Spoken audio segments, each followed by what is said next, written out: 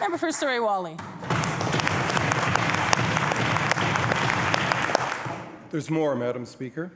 While wearing his Aardvark's Insight hat and working as a consultant for Partnerships BC, Mr. Blain also consulted for SaskBuild, which is the Saskatchewan equivalent of Partnerships BC.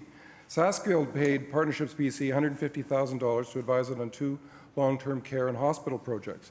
But it appears that Mr. Blain was also working as an independent consultant who obtained a contract directly from SaskBuild for $18,000 on the very same projects. Mr. Speaker, uh, the, the, minister has spoken of no conflict and no appearance of conflict. So can he explain how Mr. Blain was able to work as chair of Partnerships BC, as a contractor for Partnerships BC, and a contractor with companies directly connected to Partnerships BC, all at the same time? Minister of Finance.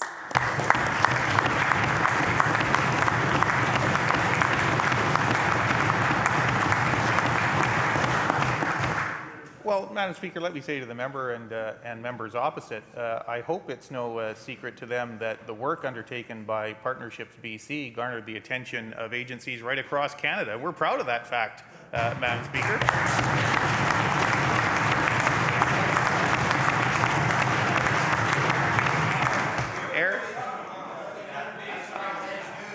I, should. Honourable I members.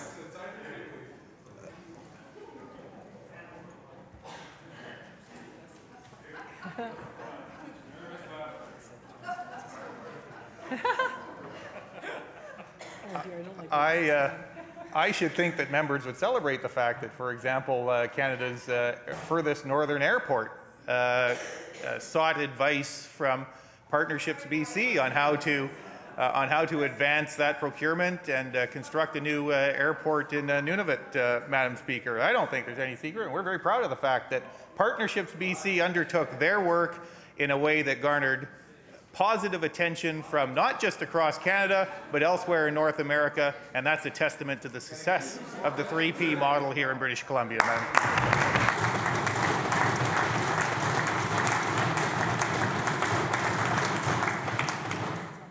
Member for Surrey Whalley. Thank you, Madam Speaker. Clearly, the Minister of Finance doesn't want to grapple with the essence of these questions. When you wear as many hats as Larry Blain, things get quite confusing. He was working for SaskBuild as a contractor. He's working for SaskBuild as a Partnerships BC consultant and also serving as the chair of Partnerships BC. He expensed trips to Saskatchewan in April, June, and October of 2013 to Partnerships BC. So the question to the Minister of Finance is multiple choice. Did Larry Blain bill Partnerships BC for his travel to Saskatchewan as one, the chair of Partnerships BC, two, the president of Aardvark Insights, his company, contracted to by Partnerships BC, or as president of Aardvark Insights, consulting directly for SaskBuild?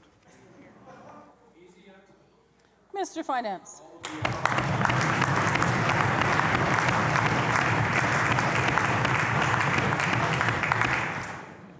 Madam Speaker, uh, the answer and the commitment remains the same, and the expectation remains the same that agencies, Crown agencies operating in British Columbia, will do so and uphold the highest possible standard with respect to conflicts of interest, perceived conflicts of interest.